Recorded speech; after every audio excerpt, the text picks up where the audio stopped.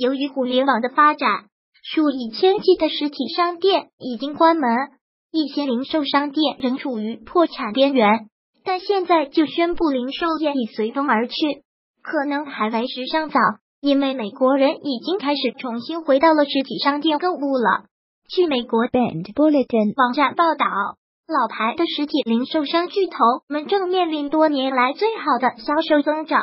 实体商店强劲的收入增长，美国强劲的经济和消费者们的乐观和自信。美国人的钱包里装满了从川普特朗普政府减税政策中获得的更多的现金，他们一直都在进行着更多的消费。这种实体店的繁荣也反映出了三点五万亿美元零售产业的广泛重组，数量变得更少的零售商店获得了更多的收益。那些已经学会如何与能够轻松和及时获得购物满足的网购进行竞争的商店。已经开始蓬勃发展，而那些未能与时俱进的商店都正处于破产或濒临崩溃的边缘。市场营销学教授、沃顿商学院杰伊贝克零售业研究中心前主管芭芭拉卡恩巴巴尔康表示，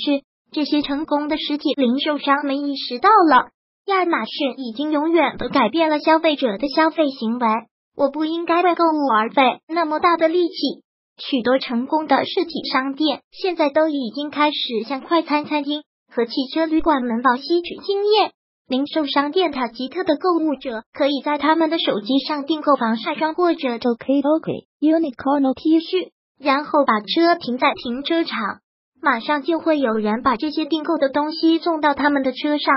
无需下车。在美国高档时装零售公司诺德斯特隆百货商店，当顾客在退货时。可以把要退的商品扔进一个盒子里即可。沃尔玛雇佣了二点五万名个人购物者，为可以在路边取货的顾客选购和包装日用商品。最近几周，上述三家零售商均报告称，该季度的销售增长高于预期。现在，他商店门前的车流量和在线网站的流量的增长，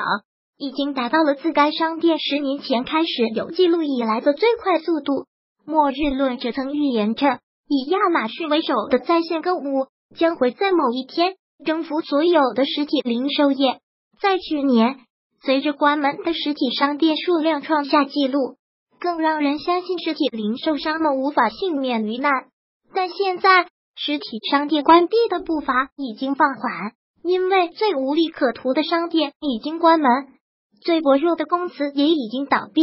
根据零售分析公司 CoSite Research 提供的数据，在二零一七年，美国各地已经关闭了近五千七百家商店。今年迄今为止，已有四千四百八十家企业倒闭。美国零售联合会的数据显示，自二月份以来，平均每月新增约五万个零售业工作岗位。如果喜欢本视频，请分享并订阅本频道，别忘了按赞哦！